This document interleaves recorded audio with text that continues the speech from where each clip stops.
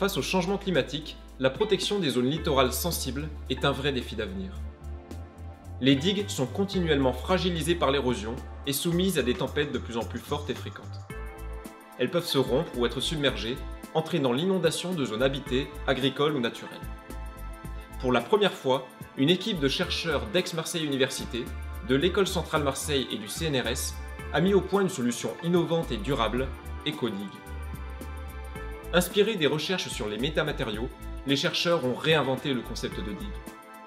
Cette structure, protégée par brevet, est formée de piliers placés à quelques centaines de mètres du littoral ou des digues préexistantes. Nous avons démontré son efficacité grâce à un prototype à échelle réduite.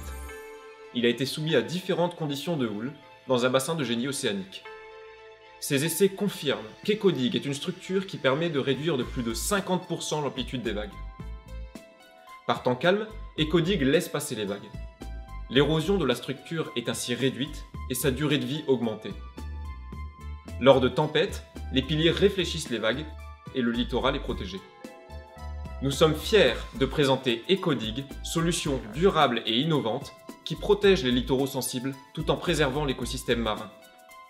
La technologie EcoDig est disponible au licensing. Vous, acteurs de la protection du littoral, anticipez les changements à venir, contactez-nous.